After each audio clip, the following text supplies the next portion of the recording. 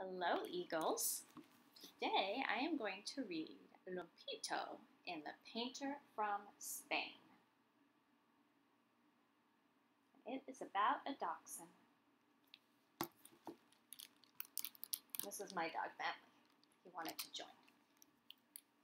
Years ago, there lived a dachshund named Lump. His name was pronounced Lump, which means rascal in German. A very long dog, isn't he? Short legs, just like my dog. Lump lived in Rome with Big Dog and a photographer named David. Lump and Big Dog were not best friends. At mealtimes, Lump ate quickly so that Big Dog could not gobble up his food. At bedtime, Lump slept with one eye open because he was afraid of what Big Dog might do. Even playtime was not fun for Loom. Big Dog rolled him around just like a football. There's Big Dog rolling him around. It's too bad that they don't get along so well. But sometimes with animals that happens. Some animals are just not that compatible with each other. One day, Lump woke up to wonderful news. Come, Lump, called David. We're off to meet a famous painter. David packed his car with cameras and film. There was only room for one small dog. Lump chased his tail in excitement. Goodbye, big dog.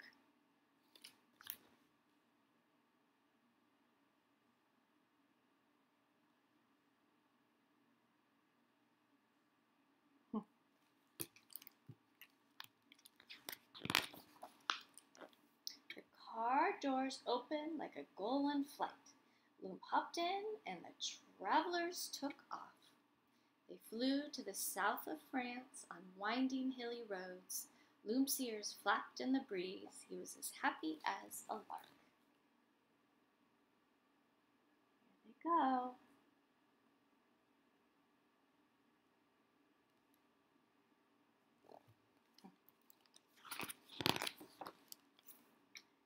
Beautiful villa, a man burst out of the doors to greet them. He was Pablo Picasso. Buenos dias, amigo, he called. Welcome. Lump caught the painter's gaze. His eyes were dark as a desert night, fierce as bulls and warm like the Spanish sun. So this here is Pablo Picasso. He was a very, very famous painter in Spain, in real life. He's not alive anymore. It was a long time ago. very, very famous painter. And later in the school year, we will learn more about Pablo Picasso. The villa's doors flew open again and out bolted a big dog. Oh no! Lump stood his ground. He was not going to let another big dog push him around.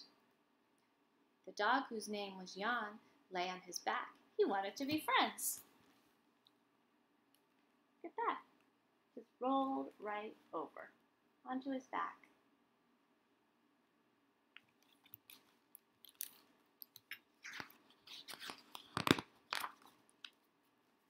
Two dogs ran into the garden to play in the tangled grass. Lump sniffed one of the stone goats. Oops, surprise! The goat sniffed back gave him a friendly nudge.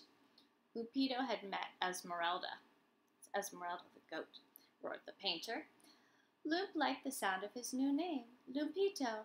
It had a happy ring to it. See Esmeralda? You find her? She's next to a stone goat.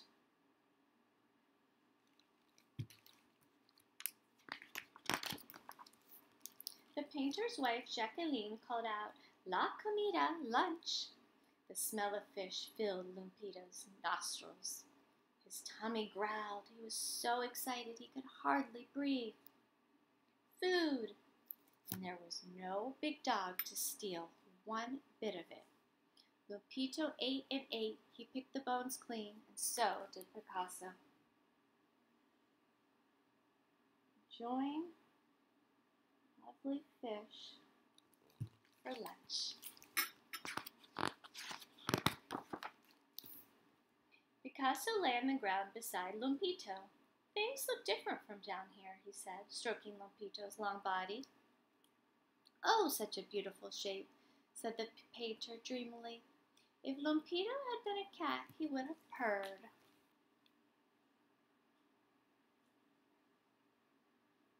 Do any of you that have dogs stretch out on the grass with your dogs sometimes?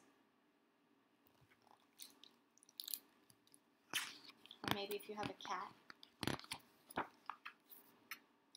At supper, Picasso gave Lumpito a special gift, a plate with a drawing on it. Lumpito sniffed the plate, but it didn't smell special. Even so, Picasso's joy made the little dog wag his long tail. You see the plate?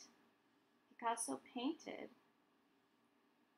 quick picture of Lumpito right on the plate, and he signed it. Very special plate. Maybe not to a dog, but would be to a person. Night wrapped the villa in stars. Everyone slept. Lumpito and Picasso did not. They stood looking at the moon, listening for the night to share its secrets.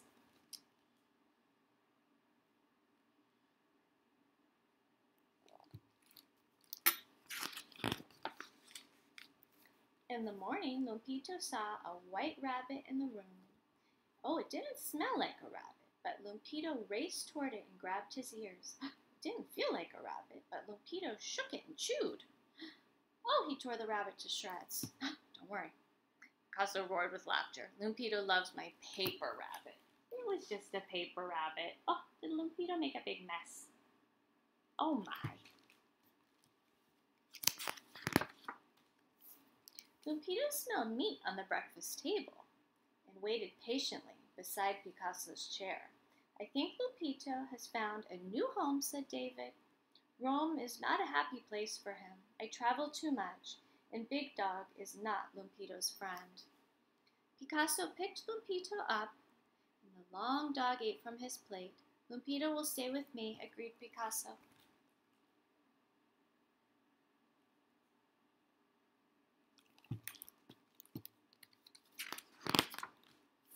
Lumpito was happy. He ate all his meals with Picasso.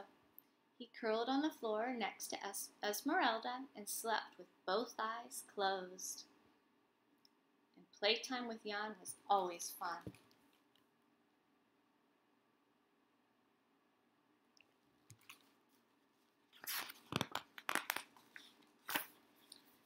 Lumpito did not only inspire drawings, he also found his way into several paintings.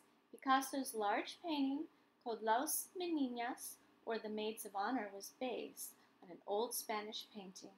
The original has a big dog in it. In Picasso's version, you will find a funny black dog with perky ears. That is Lump. Can you find Lump in the painting?